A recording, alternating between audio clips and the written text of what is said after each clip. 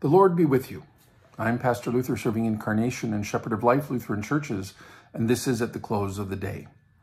Our Bible reading for this evening comes to us from the book of Colossians, reading from the first chapter, verse 18, and I'm reading from the message translation. He was supreme in the beginning and, leading the resurrection parade, he is supreme in the end.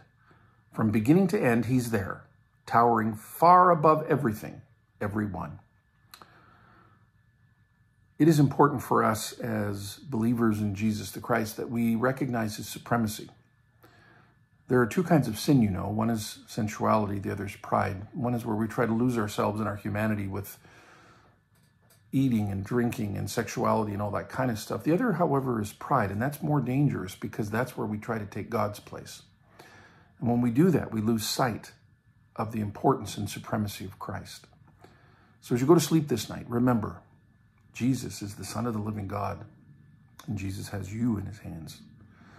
Sleep in peace, brothers and sisters. Let's bow our heads now and pray together the prayer that Jesus taught us to pray. Our Father, who art in heaven, hallowed be thy name. Thy kingdom come, thy will be done on earth as it is in heaven. Give us this day our daily bread, and forgive us our trespasses as we forgive those who trespass against us. And lead us not into temptation, but deliver us from evil. For thine is the kingdom and the power and the glory forever and ever. Amen. And now may the Lord bless you and keep you. May the Lord make his face to shine upon you and be gracious unto you. May the Lord look upon you with his favor and give each and every one of you his peace. In the name of the Father, and of the Son, and of the Holy Spirit. Amen.